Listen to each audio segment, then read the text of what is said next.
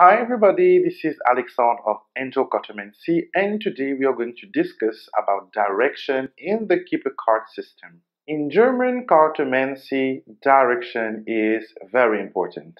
In French cartomancy, everything which is on the left hand side of your querent represents his past.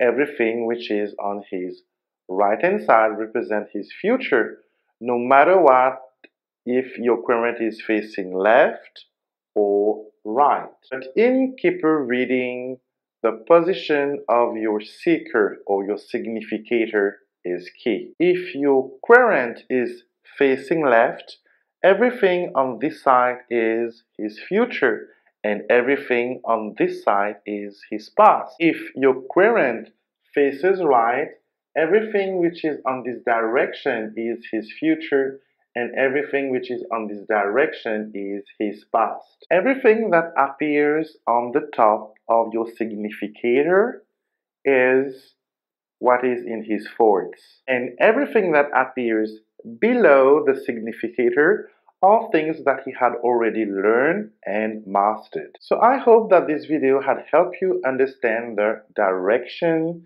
in the Kipper card system. The same method can be also applied in the Lenormand reading if you want to use the German school. Till next time, I send you all my blessing and bye. Hi YouTube, if you want to watch more of Lenormand videos, please hit the subscription button for more and I will create more amazing videos for you guys.